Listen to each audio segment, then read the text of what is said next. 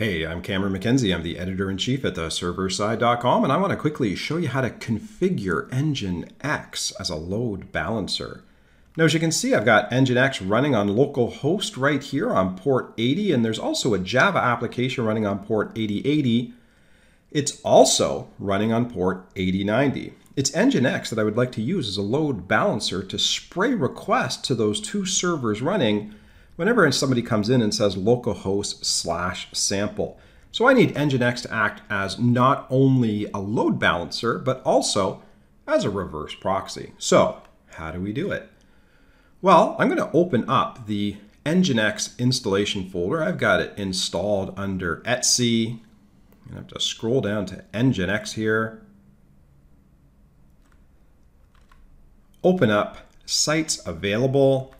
And you'll notice there's this default file, which I want to edit. I'm going to edit it in nano, so I'll do a little sudo nano default.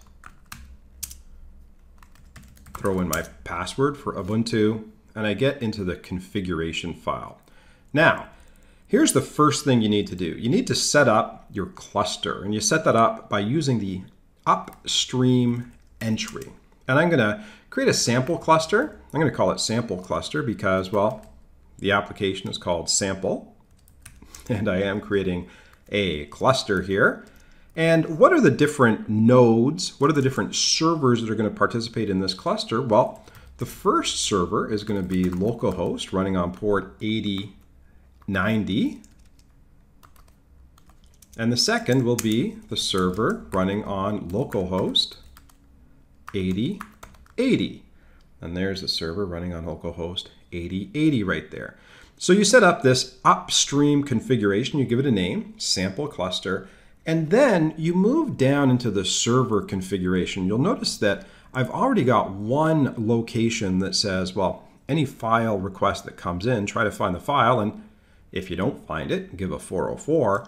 I now want to set up a new location of my own. And in this case, I'm going to say, hey, I'm going to set up a new location. And specifically, if anybody comes in and says slash sample, what I want to do is I want to workload balance between the different servers that are part of my cluster. And so to do that, I set up a proxy pass now this will actually tell Nginx to work both as a reverse proxy and a load balancer. This says anytime someone comes in for slash sample, send the request off to http colon backslash backslash sample cluster. That's the name of the cluster of the upstream that I configured earlier. And specifically to a member of that cluster, slash sample. So that might be localhost 8080 slash sample or localhost 8090 slash sample.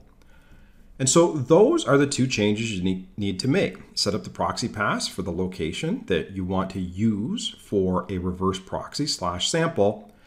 The sample cluster maps to that upstream configuration. And here you see sample cluster maps to localhost 8090 and localhost 8080 that should be it. So I'll do a control O, I'll do a control X, I get out of here, and I think maybe I should just do a sudo service nginx restart.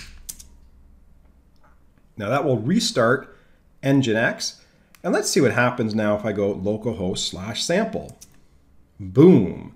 All of a sudden, I get to the Tomcat application, running on, well, it's actually running on port 80 because I actually put a little token into port 80 where it would display 01, and you can see that being mapped here. But let me do a refresh. Notice now it's 02. That means it must be going to port 8090. Let's do a refresh. 01, 02. I could do this all day long. But there you go. We have now successfully configured Nginx as a reverse proxy, and we've also configured Nginx for load balancing. Now, you can make some changes to how Nginx does load balancing. So, for example, you might want to add a weighting. So you can weight these servers. So watch this. Perhaps localhost 8090 should be weighted with the value of 10.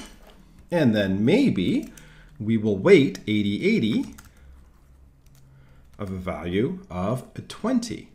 And I don't know, maybe even you've got another server, localhost 8070, but perhaps it's down and you don't want to route requests to it at all. In that case, you can actually just put the word down in there and requests won't get mapped to it at all. So let me now save this, Control O, Control X to get out of here.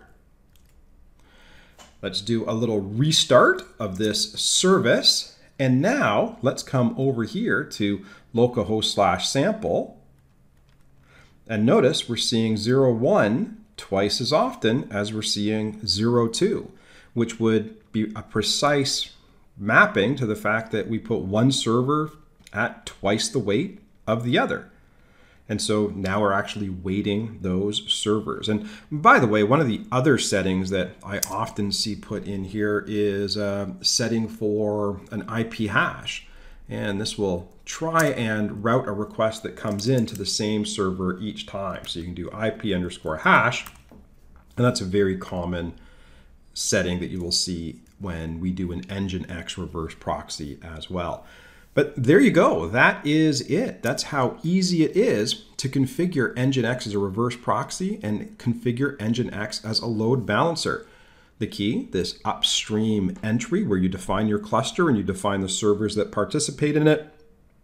And then finally, this Nginx proxy pass entry where you map the re reverse proxy, the URL that you want to use, to a URL on that cluster that you configured in the upstream.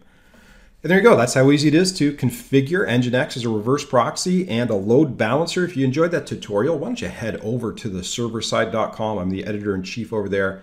We got lots of great tutorials on Nginx, Docker, DevOps tools, enterprise development, Git, GitHub, you name it. If you're interested in my personal antics, you can always follow me on Twitter at CameronMCNZ. And please subscribe on the YouTube.